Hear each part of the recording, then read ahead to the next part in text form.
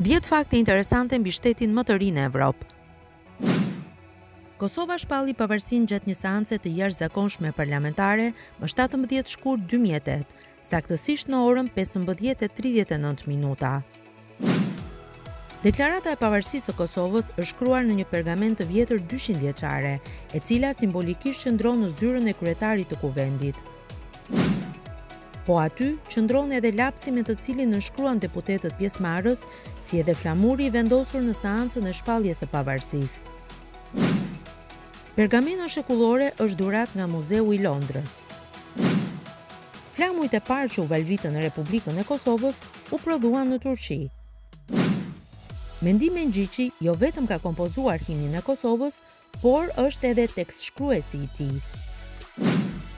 Himni i Kosovës titullohet Evropa dhe përbëhet nga dhjetë vargje.